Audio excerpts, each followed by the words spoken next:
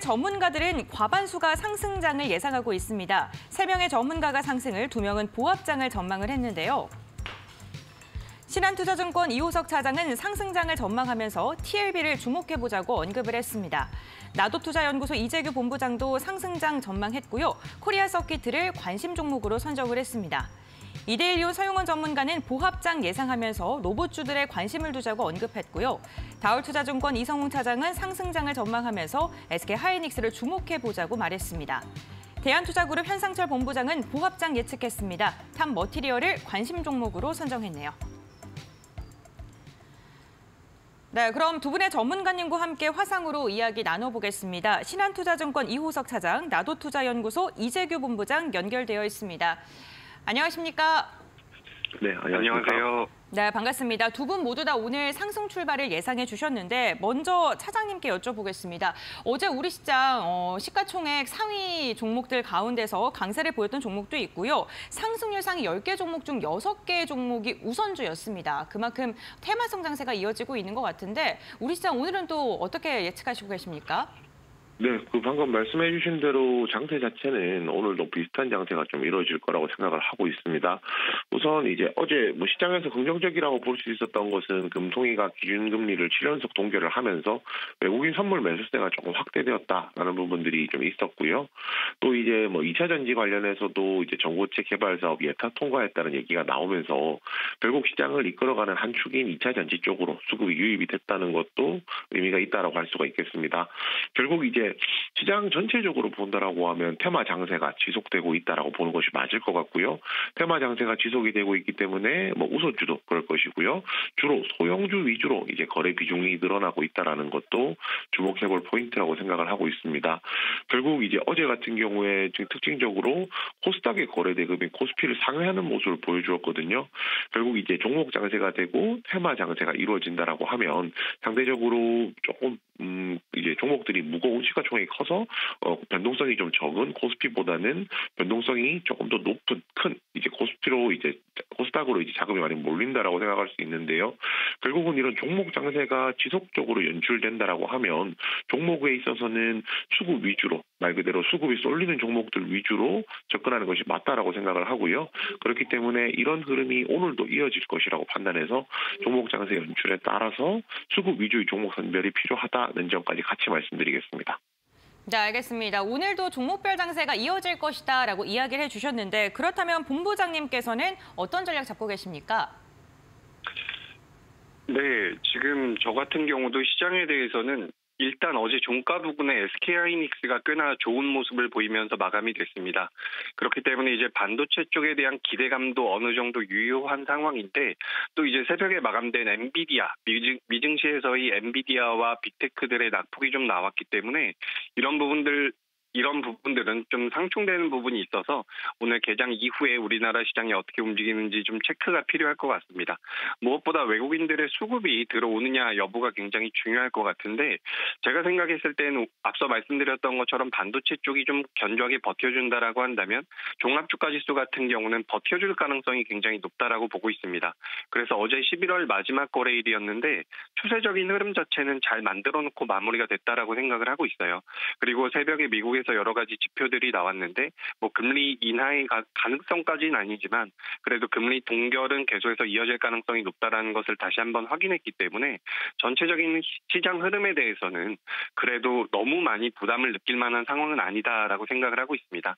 다만 이번 달 같은 경우는 거래일 수가 많지가 않은 상황이기 때문에 앞서 말씀하셨던 것처럼 종목별 흐름이 좀 더 뚜렷하게 나올 가능성이 높다라고 보고 있고 어제 정부채처럼 일시적으로 이슈가 될 만한 그런 모멘텀을 가지고 가지고 있는 기업들을 눈여겨 봐, 봐야지만 이제 수익률 게임에서 좀 더 우수한 성적을 낼 수 있다라고 생각을 하고 있습니다.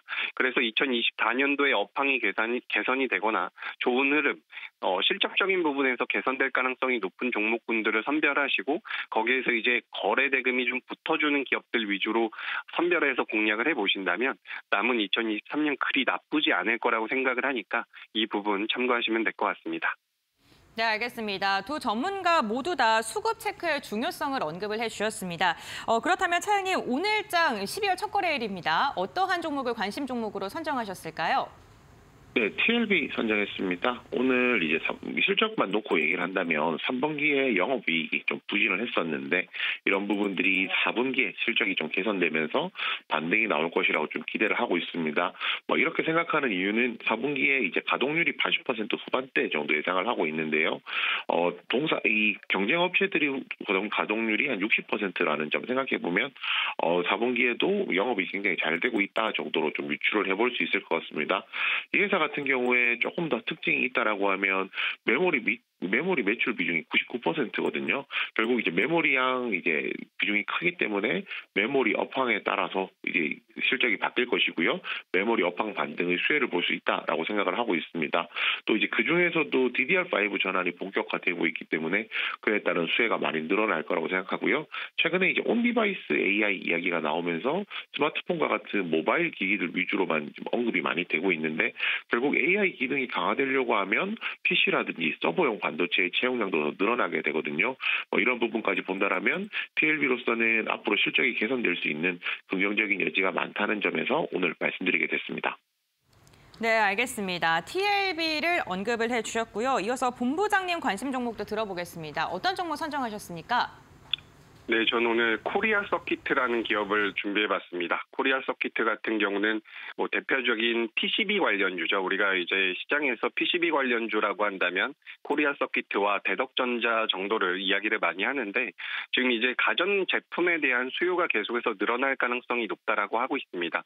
앞서서도 말씀을 하셨던 것처럼 뭐 PC나 서버용 반도체 채용량이 증가하게 된다면 그에 따라서 PCB 기판, PCB 기판 사용량이 늘어나게 되는데 코리아 써 써키트 같은 경우는 원래 스마트폰 쪽으로 출하되는 그 PCB 물량이 많았었던 기업입니다.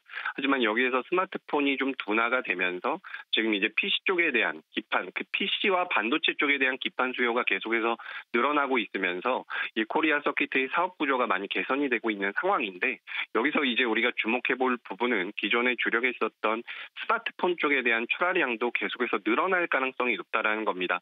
몇 년 만에 계속해서 역성 계속해서 역성장을 하고 있었던 스마트폰의 출하량이 어, 이제 반등을 하고 있는 상황이 된다라고 하고 2000, 2024년도부터 향후 5년 가까이는 계속해서 또 출하량이 늘어날 가능성이 높다라고 하죠.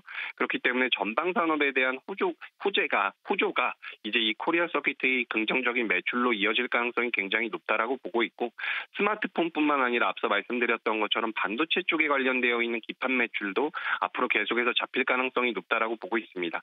그래서 이제 구조적으로 2024 2024년도에 음, 그 세트라고 하죠. 그래서 모바일이라든지 PC에 대한 수요가 늘어나고요. 세트 제품의 수요가 늘어나고 반도체 쪽에 대한 수요 역시도 계속해서 견고하게 나올 가능성이 높기 때문에 지금 시장에서 거래 대금이 많이 붙은 상황은 아니지만 코리아 서키트라든지 대덕전자 같은 이런 PCB 관련주는 좀 눈여겨보셨으면 좋겠고 코리아 써키트가 최근에 좀 더 주가 흐름이 탄력적으로 탄력적으로 나온다라고 판단을 하고 있기 때문에 시청자분들께서도 코리아 써키트라는 기업을 PCB 관련주다라고 생각을 하시고 2024년도에 전자 IT 기기 쪽과 관련되어 있는 전반적인 수혜를 받을 수 있는 기업이다. 뭐 이렇게 생각을 하시면 매매하시는 데 도움이 될 것 같습니다. 네, 알겠습니다. 본부장님께서는 코리아 서킷 언급을 해주셨습니다. 두 분 모두 다 반도체와 PC 산업 전망을 내년에 좀 긍정적으로 해석해 주신 것 같습니다. 두 분과 말씀 여기서 나누겠습니다. 오늘 말씀 감사드립니다.